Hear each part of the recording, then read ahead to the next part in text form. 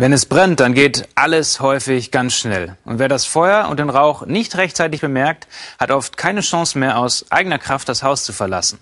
Auch bei einem Dachstuhlbrand in Baden-Württemberg kamen mehrere Erwachsene und ein Kind ohne Hilfe nicht mehr aus den Flammen. Am späten Abend steigen dichte Rauchwolken aus dem Dachstuhl eines Mehrfamilienhauses in Wüstenrot. Nur durch das schnelle Handeln von Vorbeifahrenden wird wohl Schlimmeres verhindert. Dann sind wir ins Dachgeschoss hoch und versucht, den Brand zu löschen. Dann haben wir eine Stimme von einer Frau gehört, die gesagt dass sie da drin ist mit ihrem Kind, mit dem Kleinen.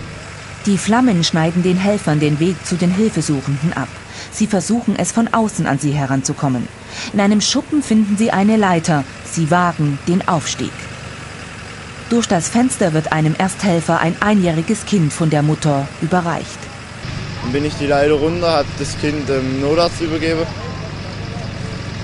Und kurz da dazwischen ist dann auch die Feuerwehr eingetroffen mit ihrer Einsatzwege. Beim Eintreffen waren noch Personen im Gebäude. Das Dach, hat, äh, durchgebrannt, Dach war durchgebrannt.